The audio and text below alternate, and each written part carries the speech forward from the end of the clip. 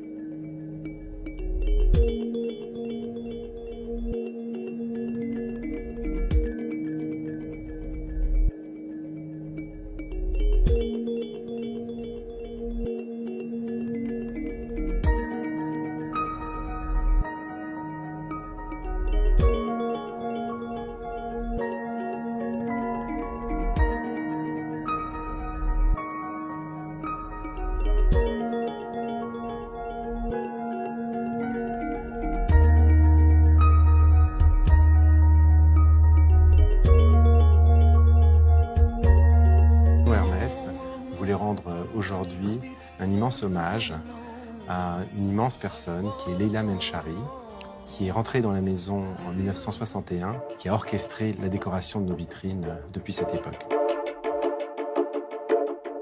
Elle a dessiné, elle a conçu plus d'une centaine de vitrines extraordinaires. On voulait absolument montrer au grand public ce qu'est l'art de décorer une vitrine.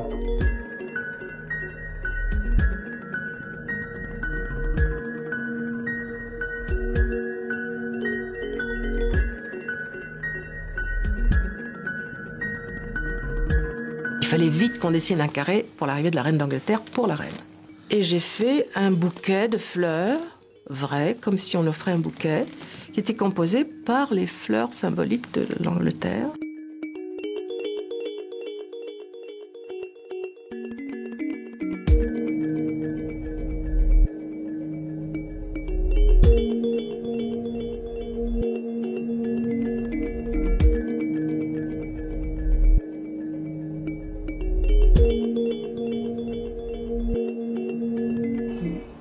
Évidemment encourage beaucoup l'artisanat et qui est très sensible à l'artisanat Hermès, je voulais jeter un pont.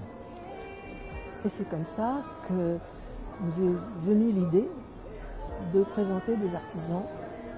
Pour commencer, c'était des artisans tunisiens. Et là, mon rôle, c'est de leur faire faire des choses qu'ils n'ont jamais fait et qui les révèlent à eux-mêmes.